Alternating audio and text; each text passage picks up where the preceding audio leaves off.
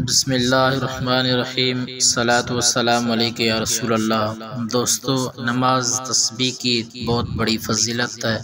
आका करीम सलाम ने एक बार अपने चचा अब्बास रज़ी अल्लाह तु से फरमाया कि चचा, आपको क्या मैं नहीं बताऊँ? वो नमाज़ नफली, जिसके सदक़े अल्लाह ताला आपके दस किस्म के गुनाहों को माफ़ फरमा देगा। तो हज़रत अब्बास सदी अल्लाह तु ने अर्ज़ की कि, या रसूलल्लाह, क्यों नहीं? बिल्कुल आप बता तो आका करीम सलाम ने फरमाया, वो नमाज़ तस्वीर है जिसके पढ़ने से अल्लाह ताला आपके छोटे बड़े गुनाहों को माफ़ फरमा देगा, आपके अगले पिछले गुनाहों को माफ़ फरमा देगा और आपके ज़ायरी और लिखे छुपे गुनाहों को माफ़ फरमा देगा। और आपके वो गुनाह जो आपने जानबूझ के किए, वो भी अल्लाह ताला माफ़ फरमा देगा। और वो गुनाह जो आपने बेखबरी में किए, वो भी अल्लाह ताला आपके माफ़ फरमा देगा। तो आज अब्बास रज़ी अल्लाह ने कहा, अर्ज़ की, या रसूलल्लाह, वो नमाज़, तस्बीह हमें ज़रूर बता दीजिए। तो आका करीम सलाम ने कहा कि नमाज़ तस्बी चार रकात नफिल है। उस, उसका तरीका ये है कि आप सबसे पहले नमाज़ तस्बी की नियत करें कि नियत करता हूँ मैं चार अकात नफिल, नमाज़ तस्बी की। फ़ी सभी अल्लाह अकबर। उसके बाद सुबहान कल्ला पढ़ें। सुबहान कल्ला पढ़ने के बाद आप पंद्रह भेरा पढ़ें।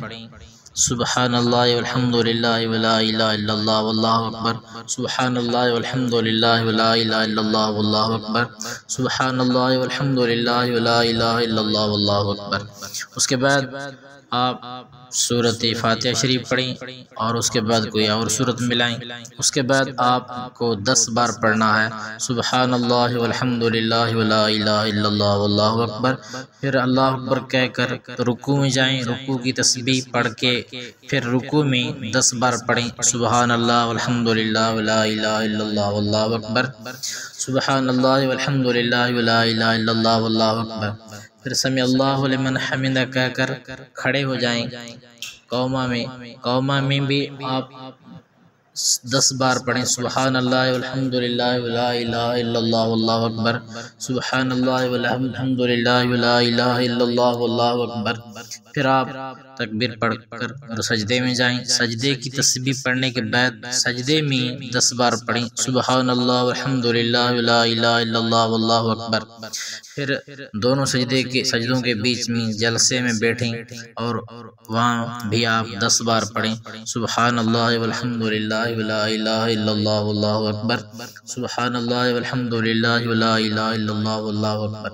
फिर अल्लाह अकबर कर कहकर दूसरा सजदा करें। दूसरे सजदे में भी सजदे की तस्बीह पढ़ने के बाद आप दस बार पढ़ेंगे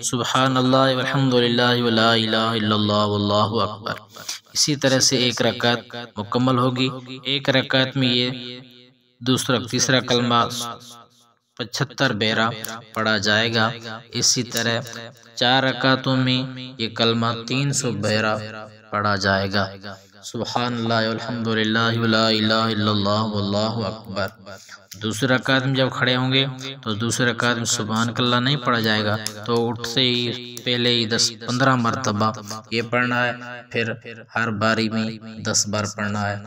दो रकात पढ़ने के बाद तैयार अदरूद पढ़ें, तीसरे रकात के लिए खड़े हो जाएँ तब भी यही पहले पंद्रह बार पढ़ना है, फिर अलहमद और सूरत मिलाने के बाद दस बार, रुकू में दस बार, रुकू से उठें जलसे में के कौमा में दस बार और पहले सजदे में भी दस बार पढ़ें और दोनों सजदों के बीच में भी दस बार पढ़ें और दूसरे सजदे में भी दस बार पढ़ें सुबहान अल्लाह अलहमदिल्ला अकबर। इसी तरह चार रकातों में तीन सौ बार ये तस्वीर कलमा तीसरा सुबहान अल्लाह पढ़ा जाएगा। आका करीम सलाम ने फरमाया कि नमाज़ तस्बीह की बहुत बड़ी फजीलत है। आप रोज़ाना पढ़ें, रोज़ाना न पढ़ सकें तो हफ़्ते में एक बार पढ़ें, हफ़्ते में भी एक बार न पढ़ सकें तो आप महीने में एक बार पढ़ें। अगर महीने में भी ये आपका मौका ना मिले तो आप साल में एक बार पढ़ें। अगर साल में भी नमाज़ तस्बीह पढ़ने का मौका मैसर ना आए तो आप ज़िंदगी में एक बार ज़रूर नमाज़ तस्बी का इंतज़ाम करें। अल्लाह ताला हम सब मुसलमानों को शब कदर की रात नवाफिल पढ़ने की और नमाज़ तस्वीर पढ़ने की तोफ़ी फ़रमाए। अल्लाम वरहमल